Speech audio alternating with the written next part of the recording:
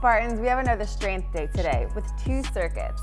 Our first circuit starts with Turkish get-up,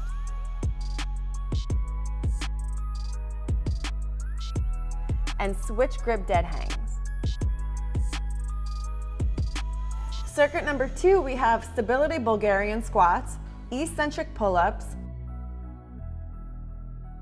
glute hamstring raises, eccentric push-ups,